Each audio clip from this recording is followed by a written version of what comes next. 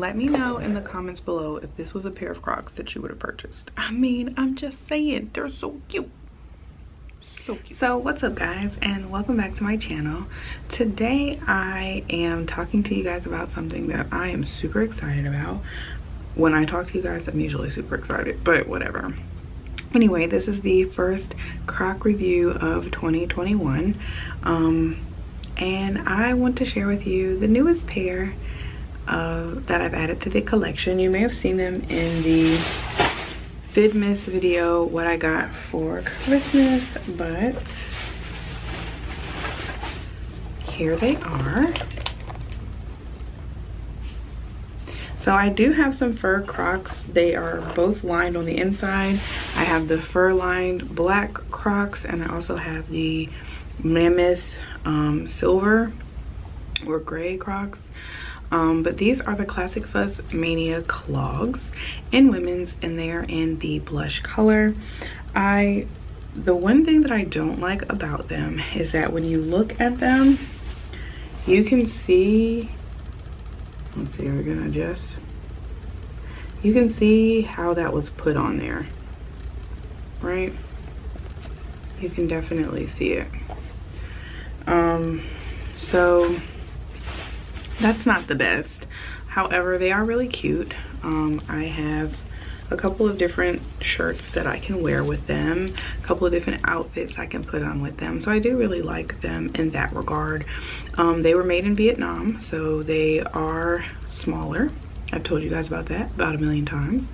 They are quite a bit smaller than what a normal size um, 7-9 would be um, but I did get them in a 7-9 because the 10 um, they didn't have a 10 so.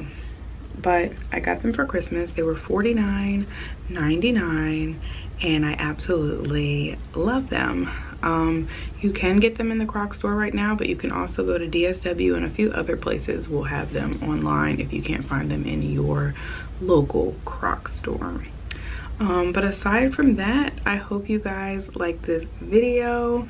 Um, do i recommend these? I definitely do. They don't make your feet sweat like the other ones definitely make your feet sweat. Um, and there are still holes on, up under the fur. So i think if you wanted to take it off you probably could.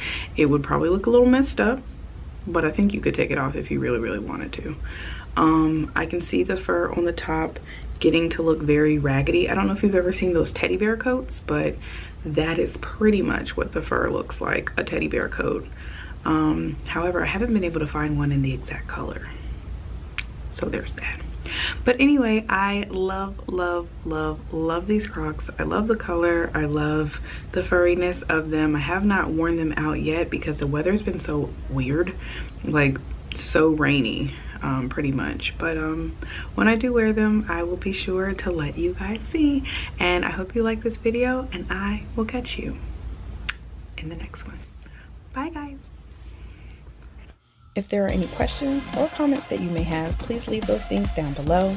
To see more content like this click the pictures to the right and please don't forget to click my little picture to subscribe to this channel I mean it's free so why not anyway thank you so much for watching and I will catch you in the next one.